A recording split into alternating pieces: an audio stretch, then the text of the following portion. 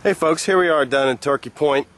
We just completed this fence, if you want to call it a renovation project. It was an existing chain link fence. We put in a three board paddock style fence for the uh, Selby Bay Yacht Club. There was a total of about 600 linear feet of fence. Project turned out nice. It rolls well with the grade. This is probably one of the least expensive vinyl privacies you can put in.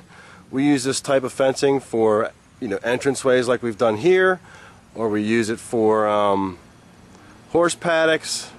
Anyway, I just want to show you this little quick video. Appreciate your time and come back and check us out on the next one.